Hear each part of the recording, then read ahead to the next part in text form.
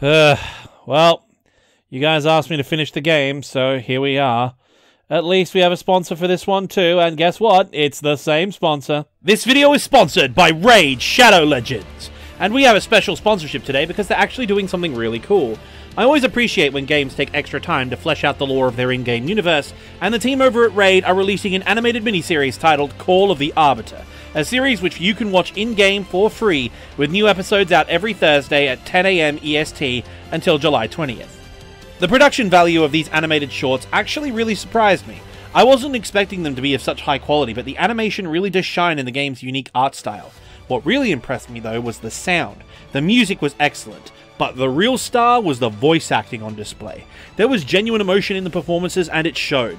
But of course, no cinematic masterpiece would be complete without a video game tie-in. When you log into Raid Shadow Legends, you will find a bunch of new Call of the Arbiter related features, new biographies for the champions, and a ton of cool stuff. And if you log into the game for 7 days between now and July 24th, you can get one of the new legendary champions from the show, Artak, completely free. And of course, if you're a new player, just scan my QR code or use the link in the description to get a starter pack which comes with this cool in-game loot. So, after you finish the video, head on over to both watch and play Raid Shadow Legends. Now, back to our feature presentation.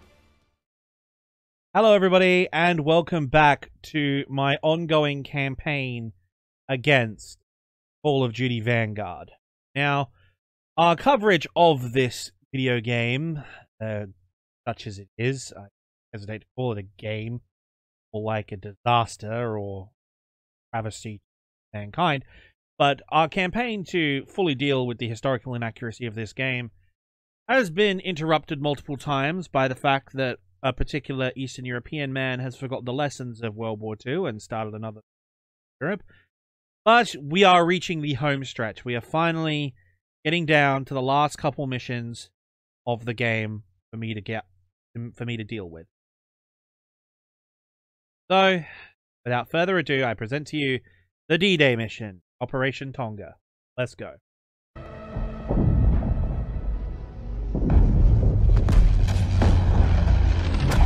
If you're meant to lead, you have to learn what it's like to lose men. All right, we made it. What? Three seconds? Maybe four? Four seconds. Okay. We made it four seconds before I spotted an error. Now, granted, it's me being pedantic, but uh, it's my job to be pedantic. So, first off, the good points. I'll move my cursor over. So, you can see here that we have a C 47 Skytrain, or in British service, the Dakota, as here. and it's actually very good I like it. Uh, the cinematics team has done their job well, as we've seen in the other cinematics. The guys handling the preliminary cutscenes and everything do a really good job at checking their facts. Uh, we saw it with the Bougainville mission and some of the others. So, you know, I'm reasonably happy with that. The D-Day invasion stripes are on the aircraft. The camouflage is correct. We've even got the late war RAF roundel with the circle on the side. It looks very good, but our problem is that we're only seeing Dakotas. So the RAF on D-Day was much more varied. Much more varied than the US Air Force. Or the United States Army Air Force. We're being technical. You see, the British used a wide variety of aircraft to deliver their paratroopers on D-Day, mainly because the Americans required the bulk the C-47s. So in this formation, the C-47s are sticking together, which makes. However, we should also see gliders. The RAF and the paratroopers used a considerable number of gliders on D-Day. In fact, Operation Tonga, and specifically the Battle of the Merville Gun Battery, which is represented in this mission, had a large glider contingent. Those gliders were tugged by various RAF aircraft, such as the Handley Page Halifax, Short Stirling, uh, the Armstrong Whitworth uh, Whitley. We should also see an Albemarle delivering the Pathfinders, I believe. Al- Albemarle? I apologize. Despite being Anglo heritage, I have trouble with some of their more obscure place names. But we should see a larger variety of RAF aircraft in this formation delivering the paratroopers. And we should also see gliders, especially for this mission. But we don't we just see C-47s. So I'm guessing this is a conscious decision to be like, when people think of paratroopers on D-Day, they think of Band of Brothers. So it makes sense that we'll put them all in C-7s because that's what everyone recognizes. We'll just put British markings on them, which is historically accurate, uh, to make it so everyone recognizes exactly what. So I can see why they do it, but it's historically inaccurate. Also, we should see smoke and fire up ahead in front of this formation because this landing was preceded by a strike of Lancaster bombers. So we should see some of them as well around. Also, the weather conditions were pretty dodgy on D-Day, but I don't think they were this bad. Uh, the cloud level wasn't this bad. Anyway, moving on. See, we all, we've already made it like three seconds to have them die trusting you. And there's only one way to learn that lesson. First time I did was on D-Day. All right, lads, listen up. We've got until dawn to achieve our objective. And it seems like the Krauts already know we're coming. Now we've got one chance to demolish the coastal artillery. I didn't recognize that guy's patch there. Uh, it didn't look right though. We've got our uh, airborne jump wings, correct one. Don't know where we saw the patch there. That patch there. Not really sure. I don't recognize. Anyone in the comments who recognizes that one, it just doesn't look right to me. Because the unit we're with, none of the units involved in this particular battle, the Battle of the uh, Merville Gun Battery, uh, were designated number one of anything. It was carried out by the 3rd Parachute Brigade, 9 Parachute Battalion, attached to 6th Airborne Division for this mission. So, none of the patches match up that particular patch. So that's wrong. But I got to give credit. Again, the cinematics doing a much better job. The actual paratrooper uniforms, the helmets are correct, uh, with camouflage netting applied. They do that, so that's very good.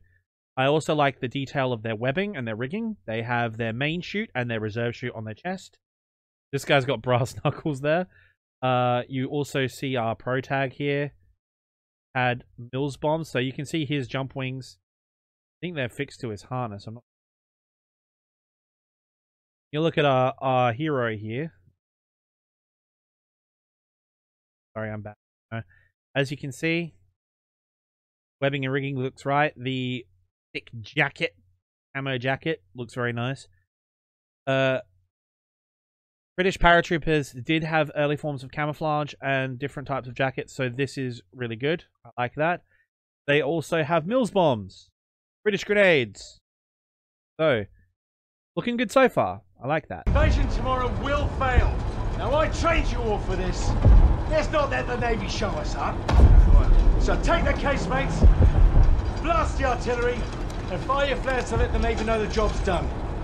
Okay, so do I really need to point out that you wouldn't pull out your flare pistol and aim it into the fuselage of the aircraft?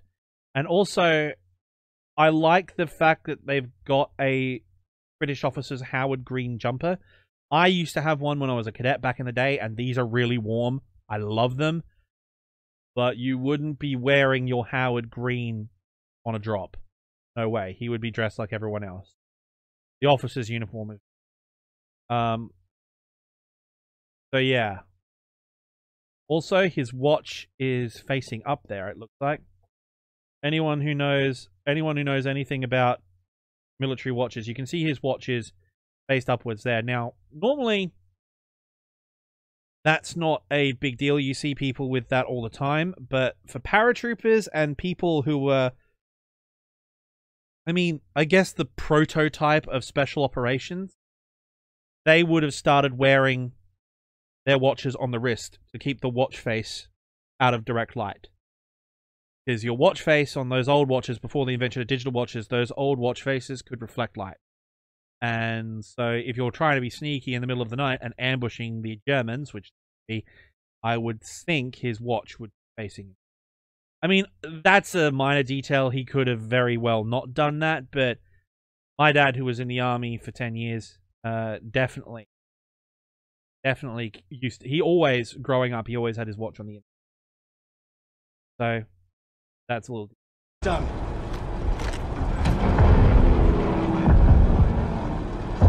All right, this is it. You know the drill. Stand up! So those aircraft were flying way too close together, way below them. They did have tighter formations, but not that tight. And all I'm saying is, if that's happening, if this is happening right here, that right there, someone needs to be having.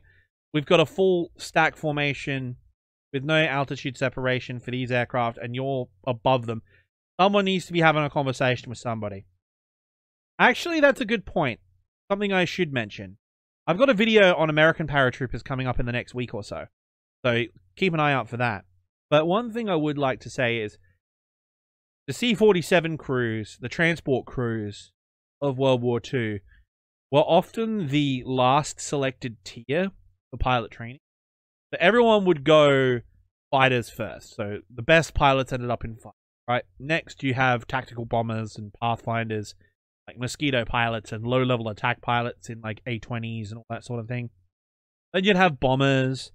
Then you'd have ferry pilots. And then finally, at the bottom of the barrel, you would have transport. So if you didn't make the cut for the combat arms sections, you would be given to the transport. And the thing is, that resulted in your most elite infantry, your best soldiers, being delivered in aircraft flown by your worst pilots. No disrespect to the transport crews. There were some very good transport pilots, and they were all trained. You wouldn't pass pilot training if you weren't able to do the job. It's just that it caused a lot of problems because all these guys aren't trained to be shot at by flak or fighters. They're not trained to fly bomb runs or anything like that. They're trained to show up, drop off what they're supposed to drop off, and leave relatively calmly. So when these guys come into combat conditions, flying through clouds and bad weather, they're all like, wait a minute, uh, what's happening? Oh my god, people are shooting at us, they're changing directions. And that's what caused what you'll see in a moment incredible numbers of misdrops. The Pathfinders got lost because the opening barrage threw off the Pathfinder aircraft, everything went haywire, and the paratroopers were scattered all over. But mm, it wasn't, it wouldn't be. So, yeah, this is conceivable, but I, would still be having a chat with somebody after this. All right, this is it. You know the drill. Stand up. Okay. Look up.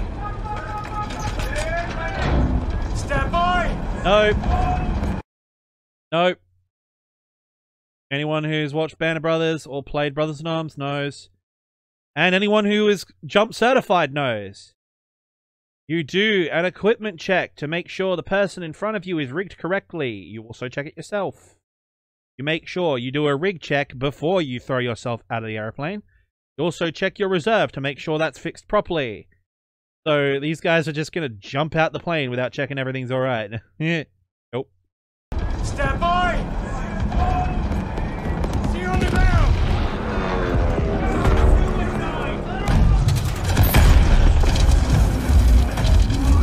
Time to leave, buddy.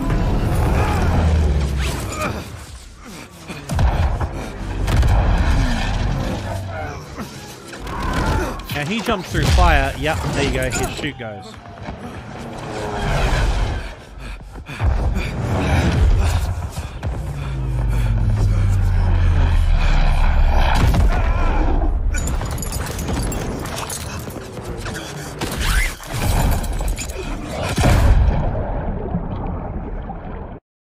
Right, so I like that.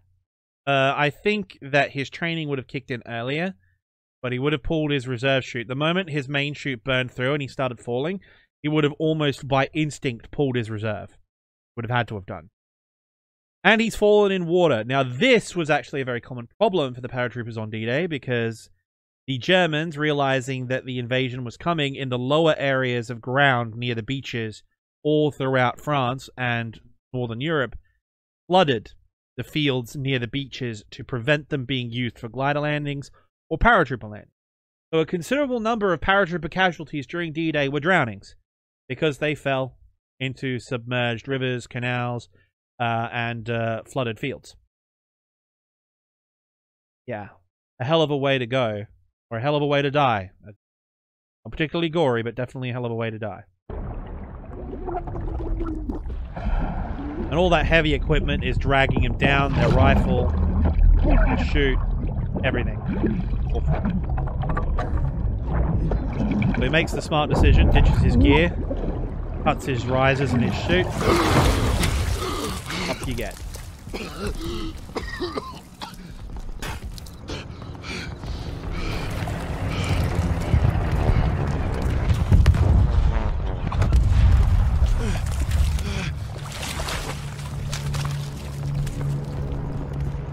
As you can see here, if you look up, there's not a single there's not a single Stirling, not a single anything. There's no other aircraft besides C-47. Patently wrong.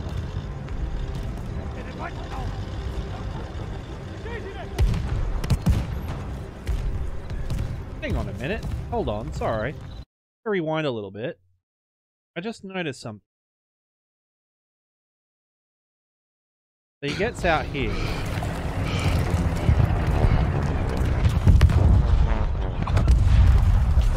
Alright. He gets out here.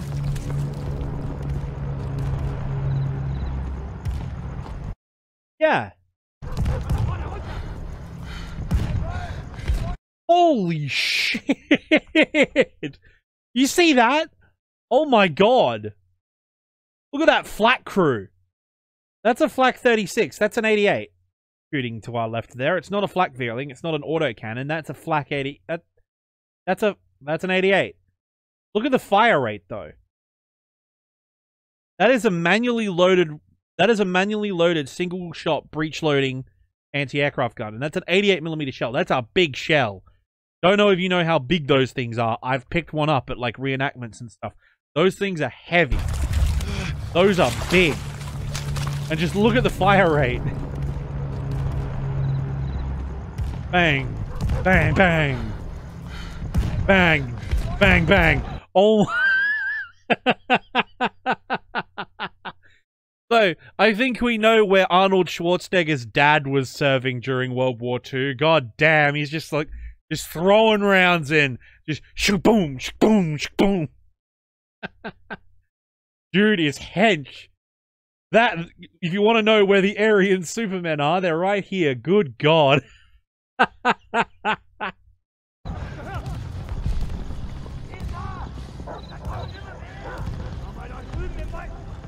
Thunder!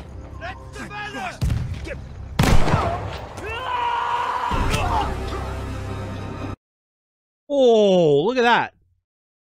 He shanked him with a bayonet and it got stuck in him. Oh, bro.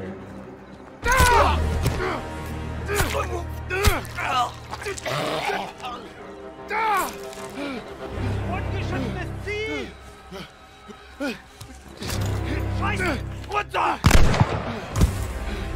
Okay, so I'm going to point out the obvious. Okay? First off, we saw the national emblem on his helmet. So that should have been taken off. Though, as I said before, the 91st Luftlander is here, so it might be the Luftlander crest, but no, it was definitely on the national color side. Uh, the bayonet lug obviously wasn't strong enough on his rifle because the bayonet came off in our poor, dearly departed comrade there. But I want you to pay a, uh, close attention to this man's uniform. Now he's got an old early war German overcoat in Feldgrau, not the later versions of their uniform, the cheaper make of uniform which most of the guys in Normandy would be equipped with. But I'm going to give you a few seconds to look at this guy's uniform, even from this weird angle. Tell me what's wrong. I'm going to give you a few seconds to work it out. Okay. Some of you have paused the video to have a look, but uh, now that you're back, I don't know if you noticed, but this man was armed with a Kar 98 rifle. So why does his uniform have magazine pouches for the MP40? He doesn't have an MP40. What are those magazine pouches for? It's going to be a bit awkward getting clips for your rifle out of those.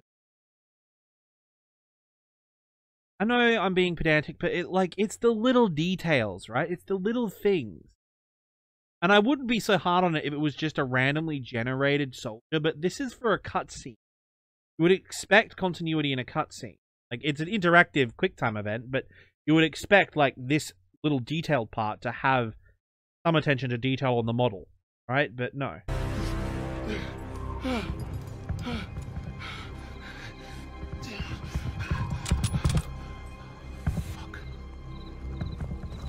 At least the Paris uniform.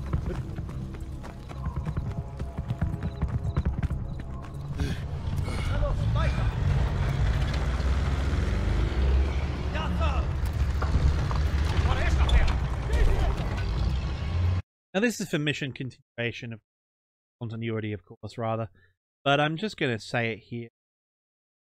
Paratroop drops were rather drawn out affairs. There were like several wings and waves that go over.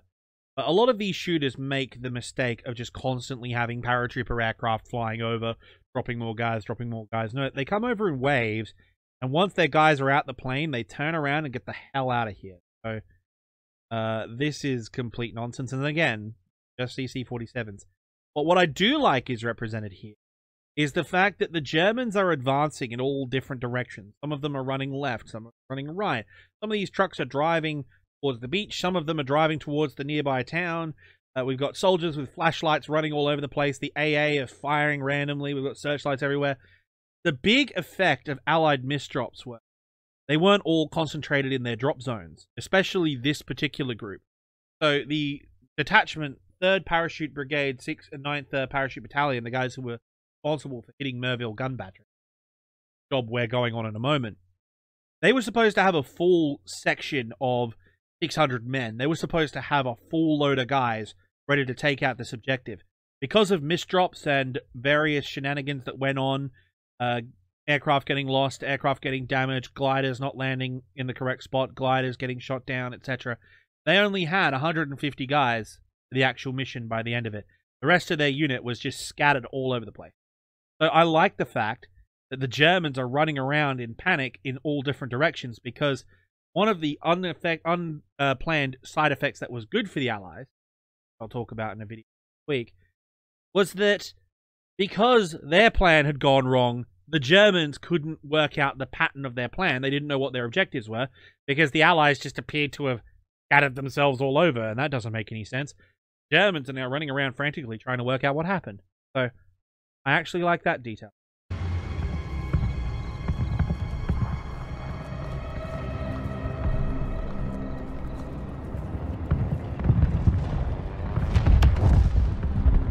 One thing I would say though is I would expect more horse-drawn activity, like wagons and such. We do know that the Germans made extensive use of horse-drawn equipment and uh, cavalry patrols in their rear areas, like in police units and so forth, because fuel was come by and so were spares for their trucks. I would expect to see some more guys on foot or horsebound German soldiers around somewhere.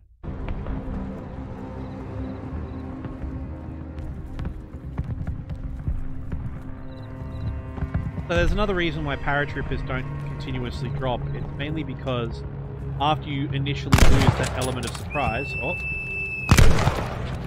Anyone floating down on a parachute after that initial assault wave is going to be a sitting duck for people shooting.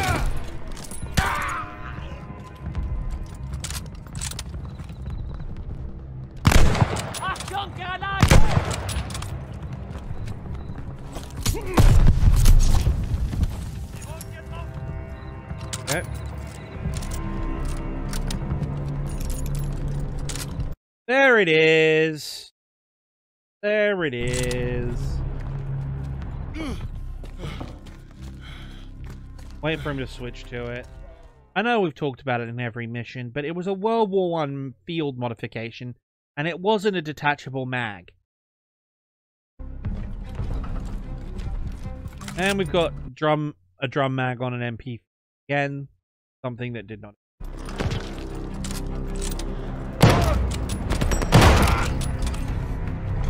Yeah, have a perfectly good. See, look, detachable box man.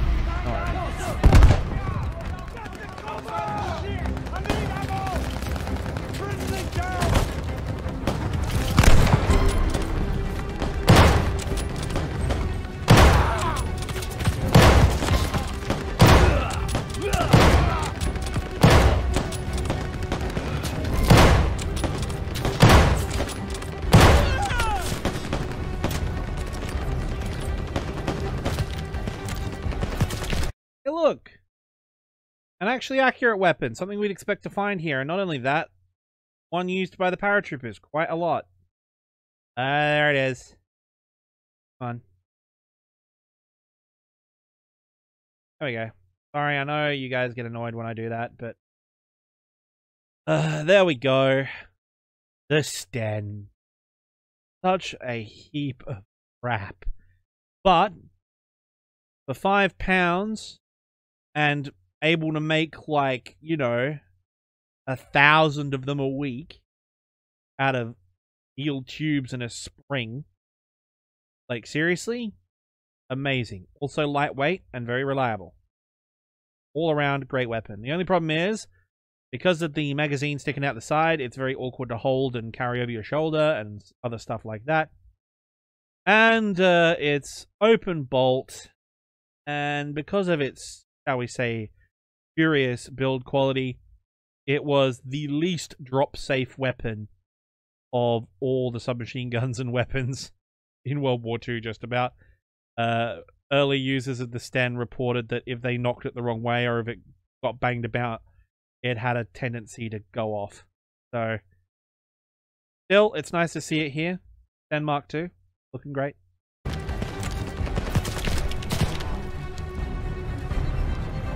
And the Webley service revolver as well. Excellent. Thunder! Thunder! Don't shoot! Damn you, Kingsley. We pegged you as a kraut. Lucky we didn't fill you full of lead. Okay, so, uh, fun fact. The reason why Thunder and Flash were used is because both words are a bit hard for a German speaker, a native German speaker, to pronounce in English. Which is why a lot of words of the day are selected that. They pick words that are hard for the other nation's language to say, so it's easy for them to recognize who's faking it and who's telling the truth. And, you know, also the day, it's a password. But there's one thing I'm going to be a little bit pedantic about. Kraut was used by Allied troops pretty universally. However, among the Brits and Commonwealth forces, not so much. Especially among the Brits. The Brits would say Jerry. Most like Jerry is more than likely what they would say. Or a Hun, if that. Maybe a Kraut doesn't. For them, it doesn't feel right. I don't know. It may. Uh, look, it's more of an American terminology than it would be a British one. But that's just me being pedantic. They very well could say it, but I don't know. I just feel like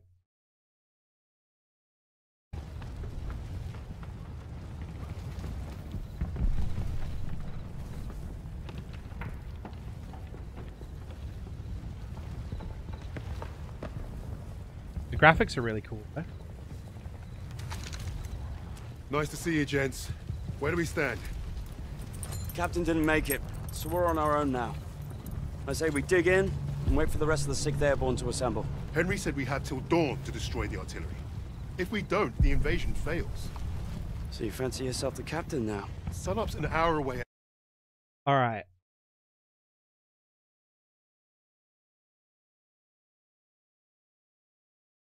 No, I'm gonna let this.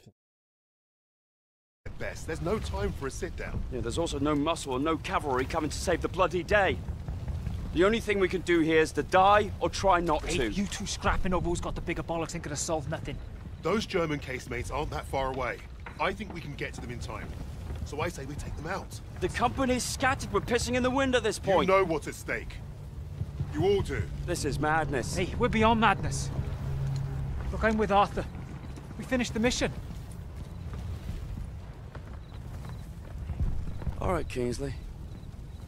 Looks like you're in charge now.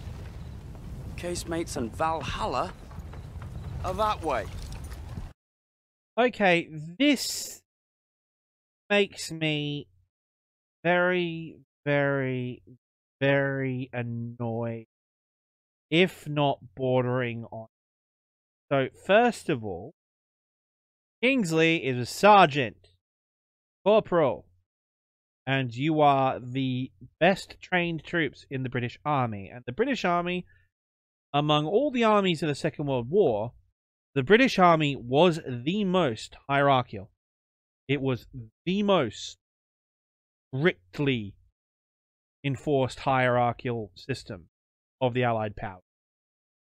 The commandos being an outlier, of course, but the parachute regiment, all the other major branches of the British Army were very strict orders and discipline, and still are to this day.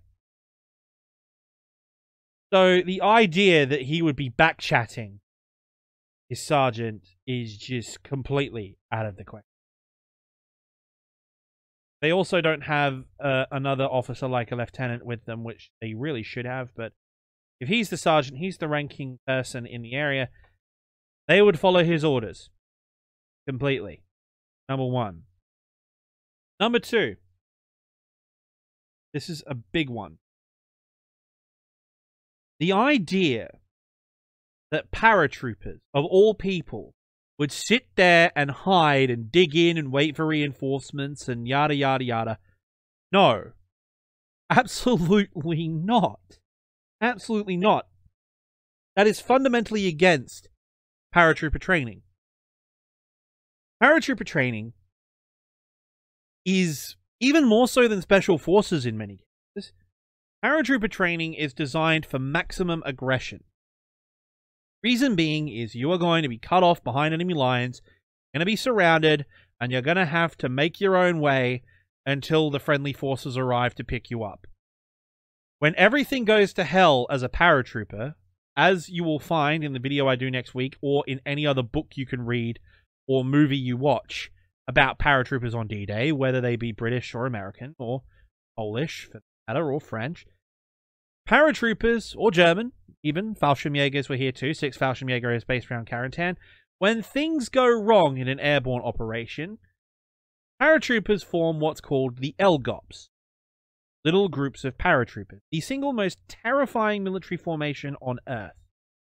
They will simply organize themselves into little war parties and go and find the enemy and kill them. In the absence of orders, find something and kill it. When the plan goes wrong, we're just going to find the enemy and start killing him until, and we'll work it out as we go. Now, the thing is, they've grouped up, they've worked out what's going on, they know where their objective is. These guys carry out their objective. You see it in Band of Brothers if you've watched the miniseries. Winters drops several miles away from his objective, and he finds several members of his unit, several members of another unit, all lying around. He rallied his men. Didn't matter it was several miles away. He got everyone together and marched towards the objective. The idea that they would sit here and whinge and go, oh, you fancy yourself the captain now. Oh, we don't want to do this. We're scared. Oh, no, I don't want to die.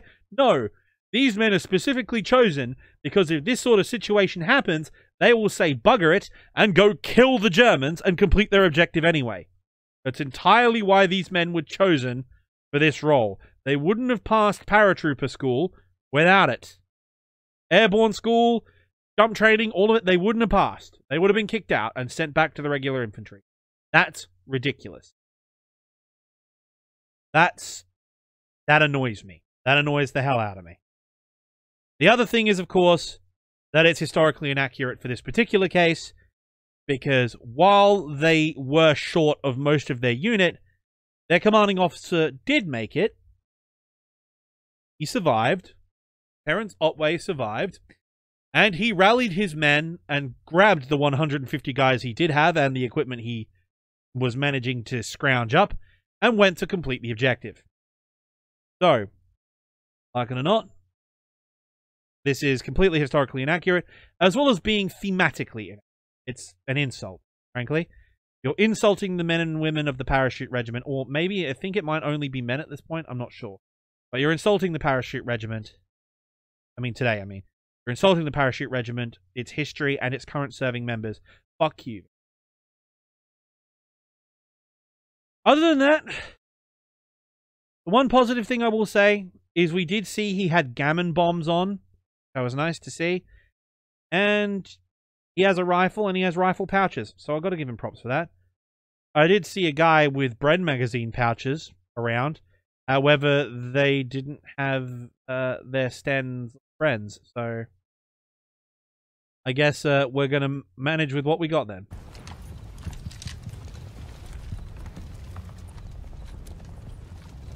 We should get moving. What's the plan, Kingsley? Let's get a path cleared. What's You the plan, this, Sarge. Sergeant? Clear that debris. He outranks you. There's no way that attitude would fly. Absolutely none.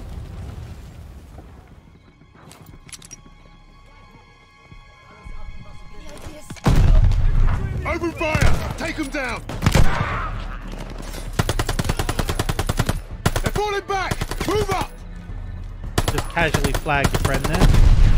After bollocksing up the ambush. Well done. They're escaping! Get down! MG on that half track! Split up! Find another way round! Incoming! Left side! Focus on the depot!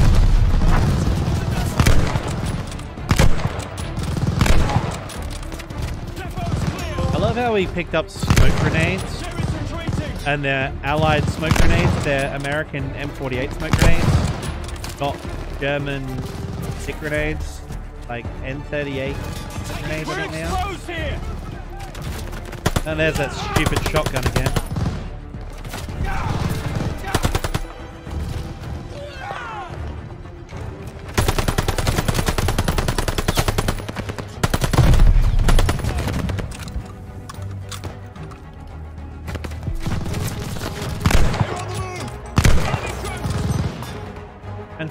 To oh, have a smoke grenade, now that you have one, you're not using it to smoke the machine gun. I guess it's the fault of the player though, not the not the game, so we can't fault that. Would you believe I almost bought this game myself to play it?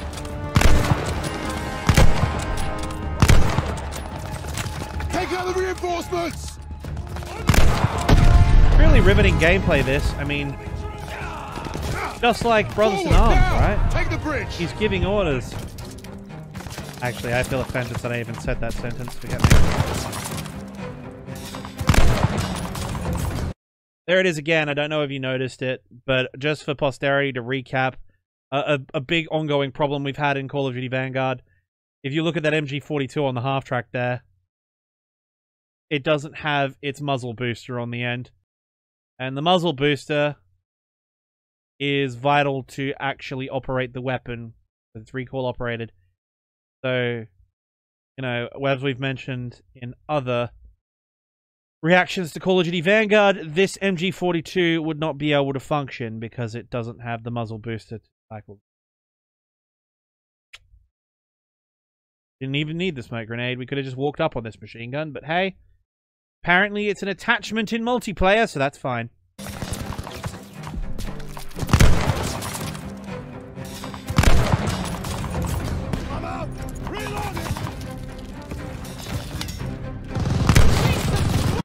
Holy shit, you just shot your own dude. Down! That MG's got us pinned, The tower! Suppress that MG! Get on the MG! Okay, so here's a cool little detail. I know I'm being a bit weird here, but if you look at the these German uniforms, they don't have their overcoats on. These guys here, unlike the earlier ones, you can see that their uniforms are actually that pale greeny color. So these are the late war uniforms, and they do have their accurate gas mask canisters and so forth, and their mess tins. So there is that.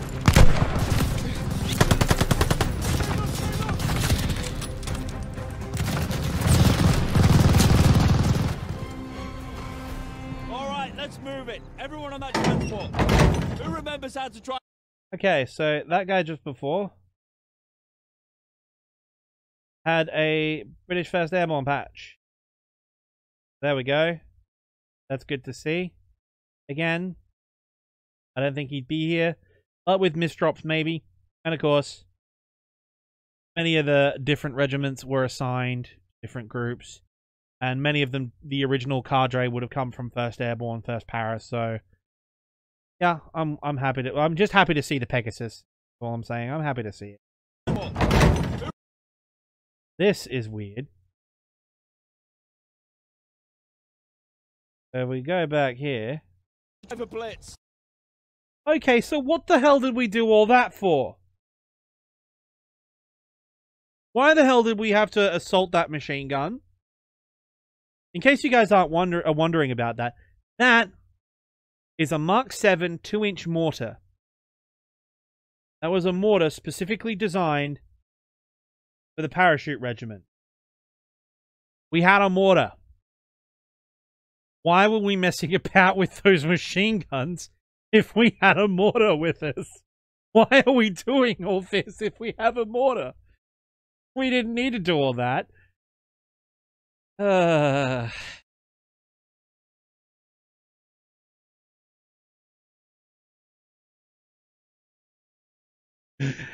I, I I know I'm I'm like cinema sins at this point. Like I should have the counter in the corner, but like, good lord, that whole plot line just makes no sense because we could have used our inbuilt indirect fire to take out the target. God damn it! Today he's got his entrenching tool, so you know you can dig a pit for that mortar later. I got this, Sarge.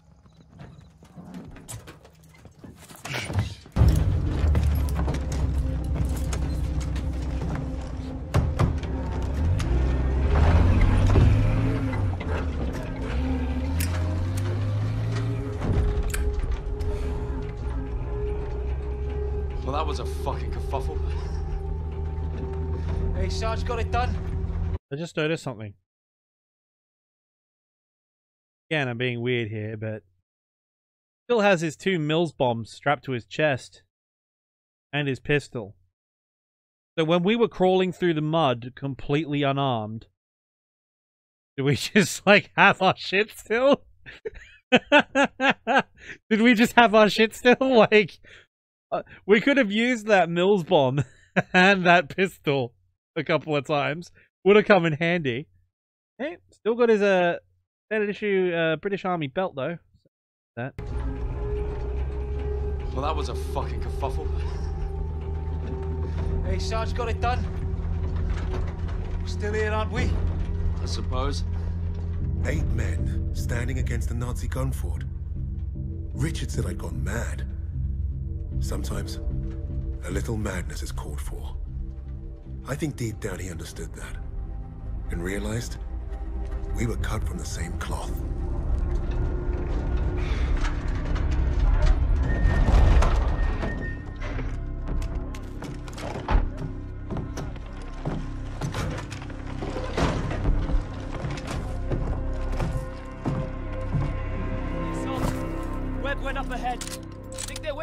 Sarge.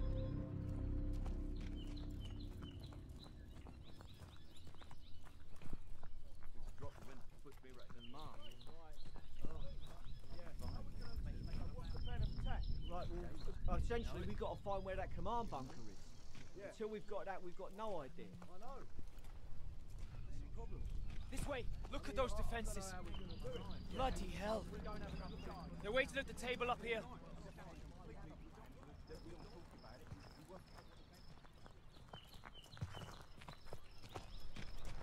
Hold on a minute. Quite a bit there.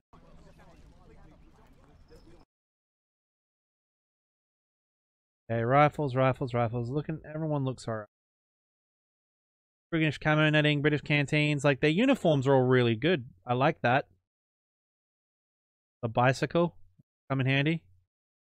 Everyone looks really good. This way. Look at those defenses. That guy's got a sh- old farming shotgun by the looks of it.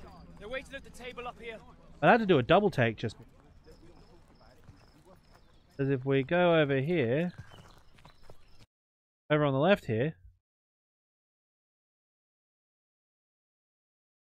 well, would you look at that?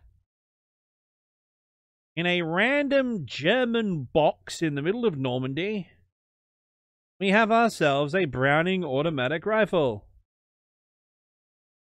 A1 model without the bipod. Long live Jonathan Ferguson, Royal Armouries, for pointing that out. every time, and I have taken his lessons to heart for a lot of these videos when discussing firearms. Shameless plagiarism, I know, but the man is a fountain of knowledge. But why the Germans would have a BAR, I have no idea. Okay? Whatevs. How's it looking, Sergeant? Let's see for yourself. Let's get you the lay of the land. Our targets are the guns housed in those casemates. And we can only get there through a horde of Germans armed to the teeth. That's relatively accurate. Uh, the time of day isn't. The gliders, basically what happened was, the gliders which had their heavy weapons and reinforcements were landing at night still before the main assault. And so, when those gliders came into land, they were forced to start the assault early. But they've just completely omitted the gliders and all the other assets needed to take this objective. They're going in with just a company of dudes when they had actually 150 guys. So, or not even a company, they have like a platoon of dudes. so, hey. But, you know, the garrison of the gun battery was reinforced after the paratroopers started landing. So, there is an excess number of Germans in the vicinity. So, that is. Taking out the lower gun. I fancy my chances. That bunker's our way in, but it's packed with MGs. It'll be a hard push. First job's getting across that minefield. But that anti-tank ditch could be useful. And the minefield is accurate. It was idea. surrounded by a minefield which they had to clear with Bangalore can punch a torpedoes. through the mines with those blitzers there. And the bunker will make mincemeat out of us as soon as they hear the engines coming. We're going quiet then. No engines. Bail at the last second, let gravity do the work. That should get us to the ditch at least. Well, I love it. I think Or you could first. use the mortar to suppress the machine gun positions as you with indirect ditch, fire get the and men ready. smoke, Tommy, while Anything? using Bangalore torpedoes Oh, that yeah. historically you would have. a minefield, clear the take minefield. bunker, strap some thermite some Set up a explosive base of fire and Piece cross of the piss, objective. and you, get a Of second course, sun burning you in the sky. If our ships don't see that flare, if they don't know we've won, they'll fire on the guns and risk taking us with them. That is accurate. Well, I don't know about you, but I think I'll take. But it wasn't a whole fleet, it was just one ship, just one British that killed me cruiser. was friendly. That British Alright, go. cruiser Won't being, forget if I line 'em up. correctly. Yep, there we go. Royal Navy cruiser HMS Arethusa.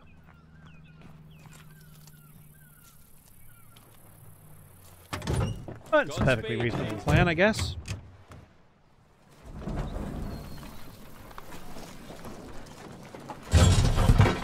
Ah, yes. One mile an hour, it has enough force to smash through this wooden.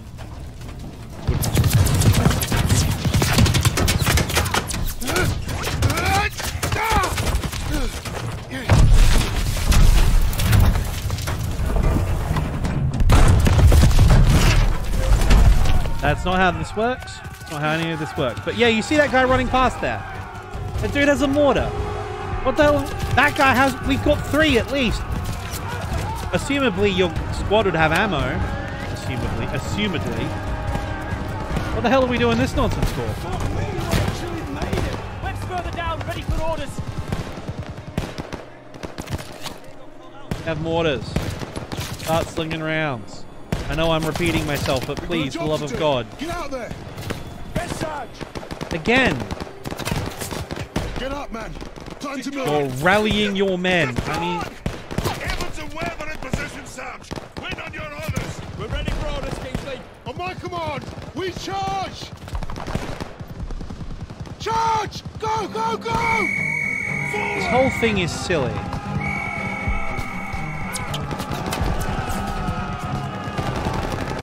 Now, I would like to say that this part is relatively historically accurate. Germans were dug in and engaged the enemy with machine guns, or in our case, the British with guns. Um, me. To them, it was the enemy. Sorry, I'm rambling. Point is, they did do a charge through the minefield into the German positions, and only a small number of troopers made it to the other end. So this is historically accurate. But again, the whole situation that this found themselves in was because the heavy weapons and such that I keep talking about, actually the weapons that they have, mortars, heavy machine guns, and all the stuff that these guys actually have on them, were on the gliders that got sent back to England or got cut off or crashed in the original assault. In the historically accurate, in the actual event, the heavy weapons weren't present, which is why they ordered this charge. In Vanguard, we have four guys with mortars. We have a whole bunch of smoke grenades. We've got gammon bombs. We've got all kinds of stuff going on. This doesn't make any sense.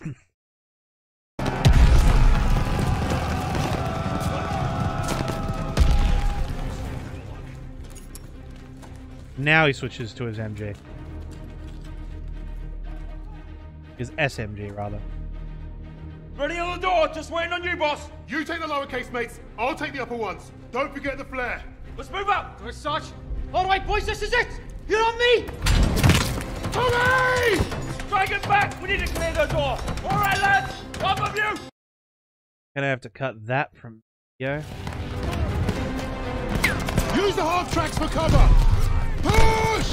Fire ahead! Okay, so. Well, he stood in front of the half track and got himself run over, so that's funny. But I'm just going to point this out here. Okay, so we have two half tracks here, which the guys are going to use to advance on the uh, enemy positions. Now, fun fact I don't know if any of you guys knew this, but the reason why these are called jerry cans is because that was the German designed fuel can. So for those of you who don't know, we get the word jerry can because the Brits found out that this can design was really good and copied it, and so did we, or basically the Western world copied the jerry can. But it got its name because it's the Jerry's using their can. So it's called the jerry can. So there's a fun bit of trivia for you if you didn't know that. I assume most of you knew it, but if you didn't, you get the name jerry can. British slang for German fuel can, so jerry can. Uh, but the other big thing here is that this is the 716th Infantry Division and the first battery of the 716th Coastal Artillery Regiment. Why do they have so many half tracks? They're not a Panzer Grenadier unit, they're not a Panzer Division. Why have they got so many half tracks? Where are they getting the fuel to use them? Ugh. Trucks make sense, but not the half tracks. They're reinforcing. Keep firing. Hold the Useful for us, I guess.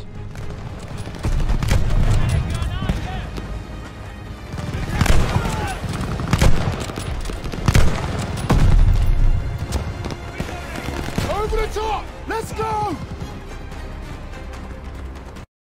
May just be one of the first times in this campaign where I haven't had to pause upon sighting an STG 44 because guess what? They were here and in service. Feels like a miracle saying that, doesn't it?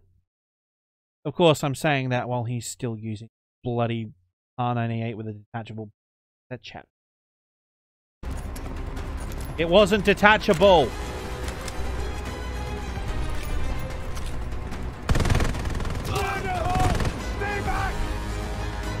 Toss the 77! 77, white phosphorus grenade. Which is accurate. They did use white phosphorus grenades to clear these bunkers on this mission. They did. Sarge. Eyes on that door. Now you use the smoke grenade. Evans, take point! Got it, Sarge. Lights are out.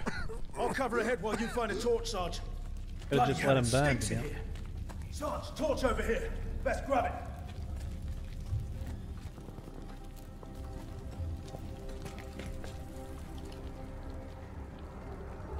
German torch.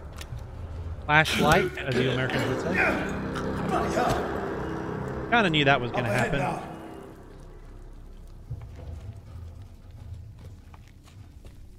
Why isn't the guy with the torch? Look at that fucking monster. All right. Here's another historical inaccuracy for the Battle of the Merville gun battery. When they actually took the bunkers, they found that the guns inside weren't actually the heavy German artillery pieces they were expecting, but rather old French 150 millimeter guns. Like they were completely, completely obsolete. They were just useless, right? so they had gone through all of this effort, gone through a 20 millimeter AA gun and multiple machine guns, cleared the bunkers with grenades and white phosphorus, and by the time they get up here, the guns were actually old, useless guns instead of effective ones. So,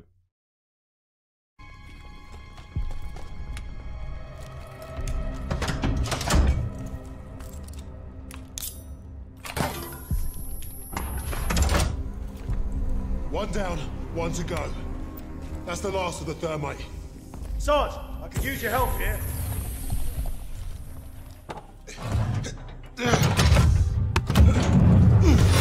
Shit! Take cover! Smoke ready. Clear them out. Smoke up. Go.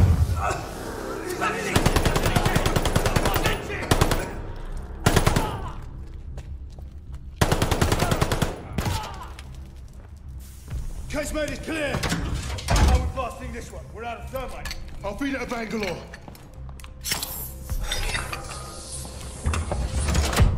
okay, if you had Bangalore's, why didn't you use those to clear the minefield? Also, I should say, uh, this bad time to mention it, but uh,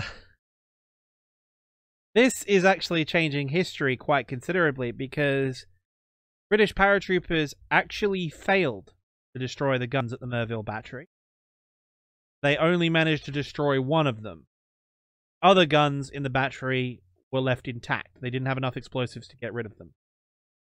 And so these guns would remain a problem. In fact, after the casualties they sustained in assaulting this position, they had lost 50% of their men. They had lost 50% casualties, which meant they only had 75 men left of 150 historically. And so they were forced to withdraw from the gun battery, and the Germans reoccupied the position. So this whole mission that we're watching right now is completely ahistorical. Not true. They were unable to destroy the guns because they didn't have enough explosives because the gliders carrying their heavy weapons and the rest of their supplies, as well as the other 500 dudes they needed for this mission, were all scattered all over the place or shot down or forced to remain in England. So this entire section is completely ahistorical. Didn't happen. What, get up top what did happen explodes. is you, You have the flare, Sarge? because the battery close. wasn't destroyed, Go! Get out and fire the! Royal Navy started shooting at this position. They are about to. At least I would Sergeant, assume so. Bombardment's any minute! Damn! Flare's ruptured. You've got to be fucking joking! Where's Webb? There! Lower casemate! You don't have another flare? They're coming! Get down! I would assume you'd have another one. Go for Webb's flare! Get everyone to cover! We need to run for it!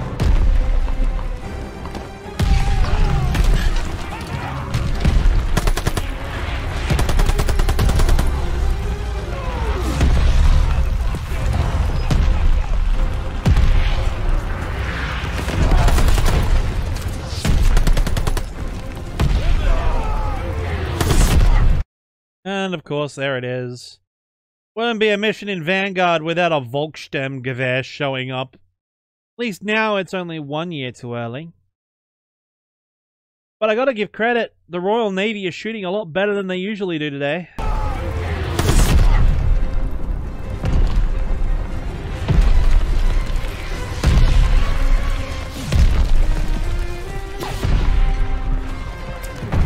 Webb? Webb! Where the hell have you been? Funny time to take a kip. I was just waiting for some mad bastard to come and save the day. Well, let's you and I signal our boy, shall we? I was going to say, while we're having this nice conversation, do you maybe want to fire the flare so the Royal Navy stops shooting at us?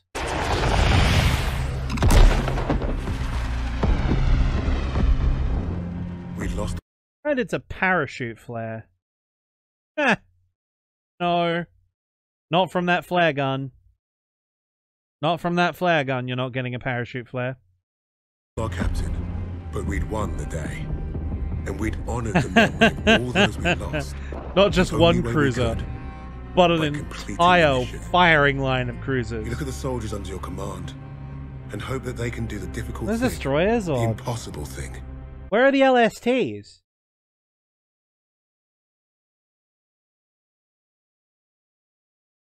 What? Where's the rest of the fleet? Why are they in Solomon? Those ships are all wrong. All of those ships are wrong. Completely. I I don't even know where to begin with this one. Uh Those are not Arethusa class cruisers, for one. Those ships are too far away, but those aren't landing ships. Those aren't amphibs. Those aren't transports. Those are. They look like warships. They got wide beams for warships. These.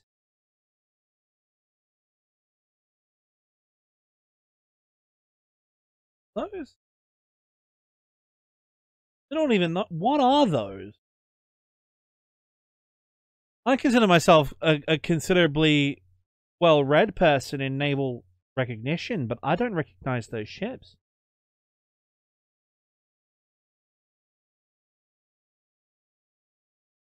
What are they? They're not correct. Whatever they are, they shouldn't be here. That flare told me I'd been right. This is what it means to be a leader.